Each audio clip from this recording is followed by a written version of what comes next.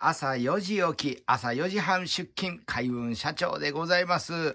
えー、11、あ、もうすぐですね。444、44になりそうですね。11月16日土曜日ですね。今、あ、あともう少しもう少し。1、2、3、おち来ました来ました幸せ幸せ幸せ幸せ幸せでございますですね。4並びでございます。はい。えー、今日もですね、元気に朝4時起き、朝4時半出勤でございます。外冷えてますね。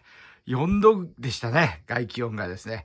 いや、ほんと急に寒くなりました。しかし寒さにもめげずですね、一生懸命頑張っていきたいと思います。